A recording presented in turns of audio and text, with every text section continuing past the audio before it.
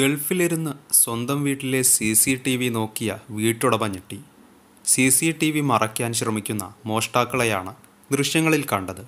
വീട്ടുടമസ്ഥന്റെ കൃത്യമായ ഇടപെടലിൽ പ്രതികൾ പിടിയിലായിരിക്കുകയാണ്. ആലുവ പറവൂർ കവലയിൽ നസീറിന്റെ വീട്ടിൽ മോഷണം നടത്തിയവരാണ് പിടിയിലായത്. സി സി ടി വി ദൃശ്യങ്ങളിൽ പ്രതികളുടെ മുഖം വ്യക്തമായിരുന്നു. ഇതോടെ Naseer C C T V ദൃശ്യങ്ങൾ പോലീസിന് അയച്ചു കൊടുക്കുകയായിരുന്നു. കഴിഞ്ഞ ഇരുപത്തിരണ്ടിന് പുലർച്ചെയാണ് മോഷണം നടന്നത്.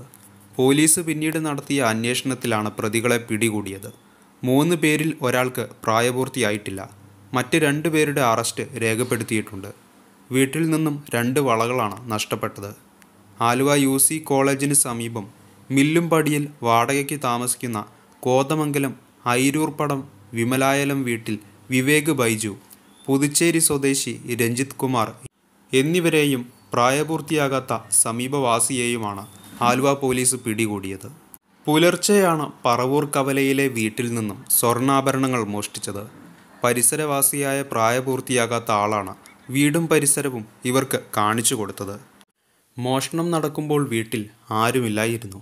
സ്വർണം ആലുവയിലെ ഒരു സ്ഥാപനത്തിൽ വിറ്റതിന് ശേഷം പണം രണ്ടുപേരും കൂടി വീതിച്ചെടുത്തു. ലഹരി വസ്തുക്കൾ വാങ്ങുന്നതിനും ആഡംബര ജീവിതത്തിനുമാണ് ഇവർ ഈ പണം വിനിയോഗിച്ചതെന്ന് പോലീസിനോട് പറഞ്ഞു